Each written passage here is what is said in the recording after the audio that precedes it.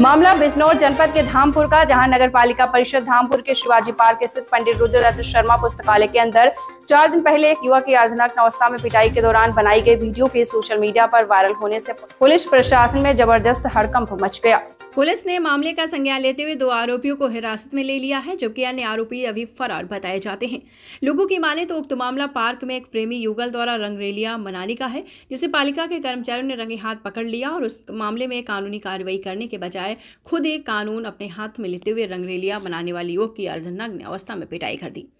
इस मामले में पुलिस का कहना है कि सोशल मीडिया पर वायरल वीडियो के बाद पुलिस ने इस मामले में संज्ञान लिया और दो आरोपियों को हिरासत में ले लिया।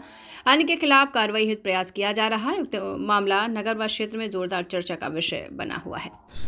अवगत कराना है कि सोशल मीडिया के माध्यम से एक वीडियो संज्ञान में आया है, जिसमें कुछ व्यक्ति एक लड़के को अर्धनग्न अवस्था में पीट रहे हैं। जाँच से यह तथ्य प्रकाश में आया कि यह वीडियो दिनांक 10 नौ 2024 दिन मंगलवार का है।